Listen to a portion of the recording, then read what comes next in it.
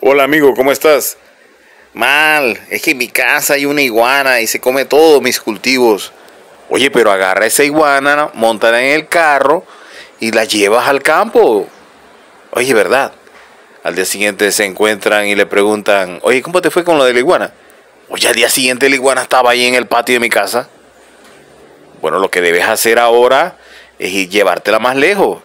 Llévatela por allá por la frontera, doblas a la izquierda, después a la derecha y la dejas allá. Al día siguiente se encuentra con el amigo y le pregunta, oye, ¿cómo te fue con la iguana? Oye, la iguana está en el patio otra vez. Ay, ay, ay.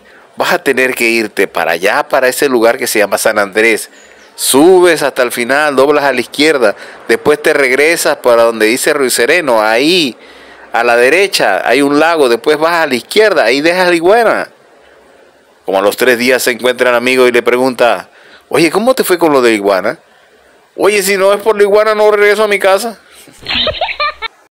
Mi amor, no gastes plata en brujos ni tirándote las cartas. Dame 50 dólares y me quedo contigo para toda la vida. Ah, y me compras ropa deportiva para hacer ejercicio. A ver, hijo, párate, que tienes que ir para la escuela.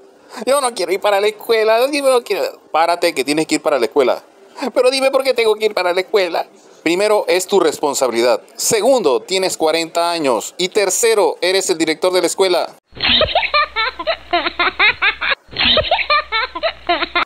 Vas a tener que dejar las harinas, la soda, el chocolate y el arroz. Gracias, doctor. No, no, no soy tu doctor. Soy tu cajero. Tu tarjeta ha sido rechazada.